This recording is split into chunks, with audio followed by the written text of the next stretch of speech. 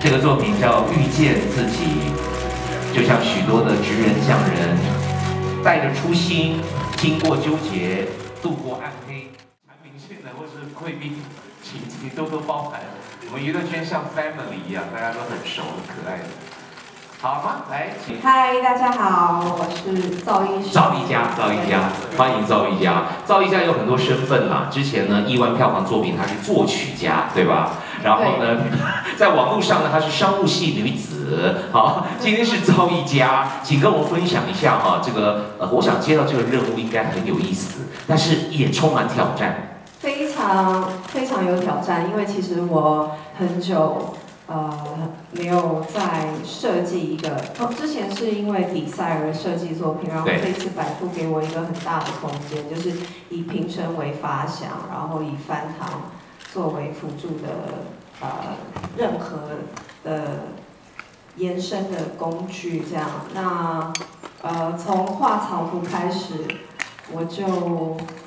非常的开心，因为其实我我自己本身画图不是非常厉害，但是我很喜欢创造的感觉，然后也很喜欢当我最后看到结果出来，哦，原来是这个样子。因为我我在做不管是音乐啊，还是还是做表演，我其实比较是。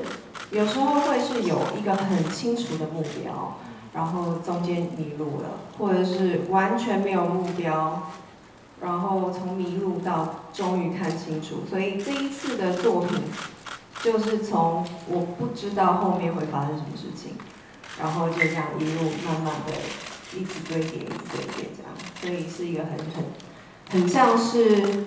自我挑战，每一次做作品的时候都是有这样子的感觉。是，好，美女朋友去帮我们捕捉一下，待会呢，啊，这个非常经典的作品《遇见自己》将会旋转出来，让我们一起看看赵一家的啊新意之作。三、二、一，请亮相。百富新意计划，赵一家、蔡依林新意之作《一心一意遇见自己》正式登场。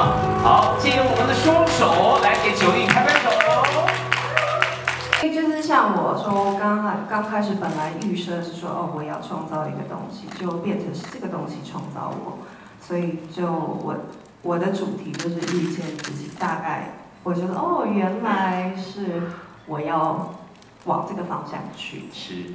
呃，我我那时候本来想说要让他呢是他创造的东西。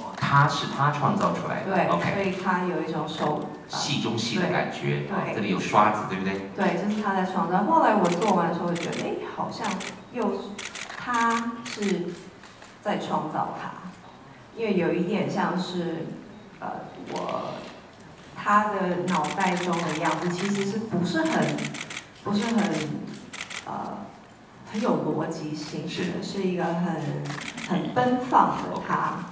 Thank you. OK，专业专业，哇，Jeff，Jeff，Jeff，其实你可以不用送给我，蔡依林送就好了。